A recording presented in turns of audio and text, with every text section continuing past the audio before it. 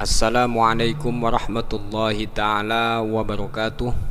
Alhamdulillahilladzi amarna bid-da'awat wassalatu wassalamu ala sayyidina Muhammadin ad-da'i lil khairat wa ala alihi wa sahbihi alladzina fa'alul hasanat wajtanabul munkarat amma ba'du. Sahabat kaum muslimin wal muslimat rahimakumullah pada kesempatan yang berbahagia ini Alhamdulillah kita semua masih diberikan panjang umur sehat jasmani dan rohani. Mudah-mudahan kita semua selalu dalam lindungan Allah subhanahu wa ta'ala Dan mudah-mudahan kita semua diberikan keberkahan fid dunya wal akhirah. Amin ya rabbal alamin saya ucapkan jazakumullahu ahsanal jaza. Terima kasih banyak kepada sahabat-sahabat saya terutama warga Serang Banten, Kang Sampun bersilaturahmi. Mudah-mudahan silaturahmi kita dijadikan oleh Allah Subhanahu wa taala sebagai ukhuwah Islamiyah. Persaudaraan kita semakin kuat, perkenalan kita semakin dekat dan mudah-mudahan Allah Subhanahu wa taala selalu memberikan ilmu yang bermanfaat sehingga kita bisa hidup yang penuh dengan keberkahan di dunia maupun di akhirat. Sahabat kaum muslimin wal muslimat rahimakumullah, insyaallah pada kesempatan video kali ini saya ingin menjawab pertanyaan dari teman saya yang bertanya tentang kalimat khususon ila ruhihi fulan Kemudian kalau untuk perempuan khususon ila ruhiha fulanah. Pertanyaannya, kenapa Kang? Kalimat khususon ila ruhihi di situ kan sudah ada domir. Kenapa kita menyebut nama almarhumnya lagi di situ? Khususon ila ruhihi fulan. Nah, ini contohnya sebagai contoh ya. Khususon ila ruhihi Mas Jaid khususon ila ruhiha neng Fatimah kan sudah ada domil kenapa kita menyebutnya lagi di situ Sebelum saya jawab pertanyaan dari teman saya ini, saya selaku hamba doif apabila ada kesalahan baik dari segi ucapan, surahan yang kurang sesuai, mohon maaf yang seluas-luasnya. Karena saya manusia biasa, tentulah yakhlu anil khoto iwan nisyan. Yang pertama saya akan jelaskan tentang domil. Domir itu menurut bahasa artinya hati. Jadi ada di hati ya. Ketika kita menyebut khususon ila ruhihi, pasti hati kita kembalinya ke almarhum ya. Itu namanya domir. Menurut bahasa artinya hati, domir. Dan kebiasaan domir itu kembalinya di kalimat sebelumnya, bukan di setelahnya. Tapi ada dalam kitab Alfiatu Ibnu Malik domirnya unik. Kebiasaan domir itu kembali di kalimat sebelumnya itu setelahnya. Dalam kitab Alfiatu Ibnu Malik di situ dijelaskan dalam bab fa'il ya. Bab fa'il bet terakhir. Wasya'anahu khofa rabbahu umar Wasyadzanah wuzana nuruhu syajar khofa robbahu umaru. Khofa kalimat fi'il madi kemudian robbahu dijadikan maf'ul maf'ul muqaddam artinya didahulukan. Kedudukannya dijadikan maf'ul khofa ketempelan domir hu. Kemudian lafad umaru sebagai fa'il dari lafaz khofa yang mutaakhir artinya fa'il yang diakhirkan. Kemudian robbahu maf'ul muqaddam yang didahulukan.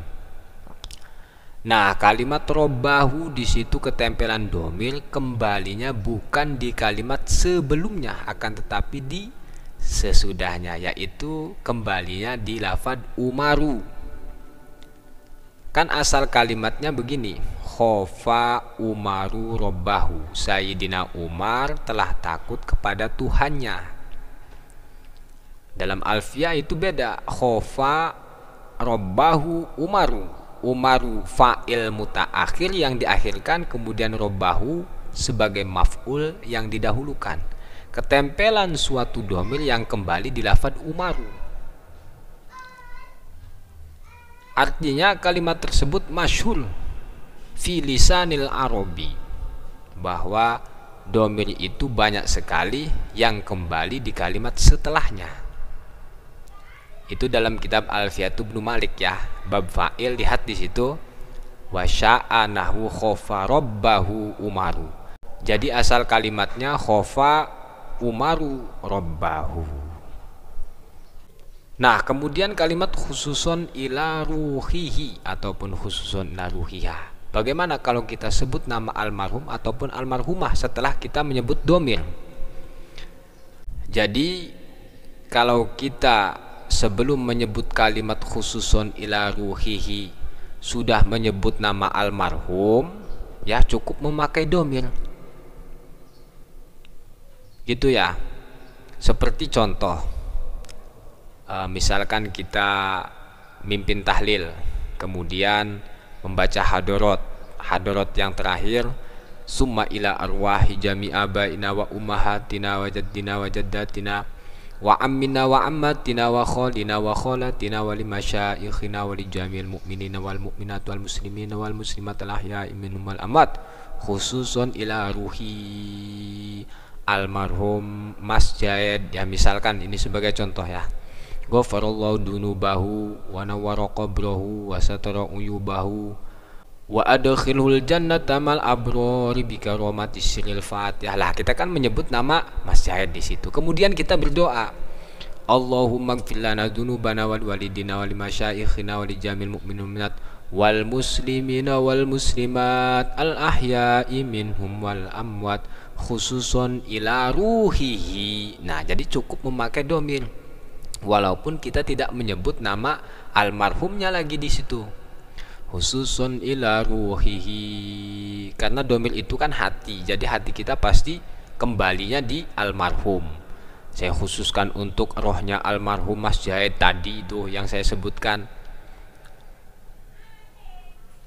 Itu kebiasaannya kalau berdoa ya cukup memakai domil kalau kita sudah menyebut nama almarhumnya sebelum kita menyebut domil tapi kalau kita menyebut nama almarhum ataupun almarhumahnya lagi di situ ya, khususon ila ruhihi itu namanya litabin. Sah-sah saja, boleh-boleh saja. Bahkan eh, faidahnya itu litabin artinya menjelaskan dan kemudian litaukid menguatkan. Khususon ila ruhihi saya khususkan untuk rohnya Mas Jaid saya sebut lagi di situ Mas Jaid nah itu namanya litabin menjelaskan domil ruhihi. Jadi ketika kita menyebut nama almarhumnya lagi setelah kita menyebut domil itu namanya litabin menjelaskan domil ini kembalinya di lafad e, almarhum Mas Jaid gitu ya. Jadi faidahnya litabin yang kedua litaukid menguatkan. Sah-sah saja. Khususon ila ruhihi mas jaid sah-sah saja. Ataupun khususon ila ruhiha neng fatimah. Ya boleh-boleh saja. Itu faidahnya litabin menjelaskan domir. Yang kedua litaukid menguatkan. Menguatkan domir ruhihi ataupun ruhiha jadi bila ada ustadz di kampung kalian yang uh, berdoa dengan kalimat khususon ila ruhihi almarhum Mas Jaid misalnya sah-sah saja, boleh-boleh saja. Bahkan itu litabin menjelaskan domir dan kemudian ditaukid menguatkan menguatkan bahwa domir ruhihi ini kembalinya di almarhum ataupun ruhiha ini kembalinya di almarhumah. Jadi kembalinya ke almarhumah. Ingat ya. Jadi ketika kalian mimpin hadorot ataupun mimpin doa, kemudian kita mengucapkan kalimat khususun ila ruhihi. Nah, kita sebut namanya lagi di situ. Mas sah-sah saja. Bahkan itu litabiyin menjelaskan domir yang kedua litaukid faidahnya. Menguatkan domir. Bahwa domir itu kembalinya ke almarhum ataupun almarhumah. Jadi kalau misalkan untuk laki-laki khususon ila ruhihi. Saya khususkan untuk ruhnya almarhum. Kemudian kita sebut namanya lagi Mas Jaed. Nah itu boleh. Sah-sah saja yang pertama litabyin menjelaskan domir yang kedua litaukid menguatkan itulah yang bisa saya sampaikan mudah-mudahan video ini bermanfaat dan mudah-mudahan kita semua selalu dalam lindungan Allah Subhanahu wa taala. Apabila ada kesalahan baik dari segi ucapan ataupun surahan yang kurang sesuai mohon maaf yang seluas-luasnya. Hadanallahu wa ajma'in. Wassalamualaikum warahmatullahi wabarakatuh.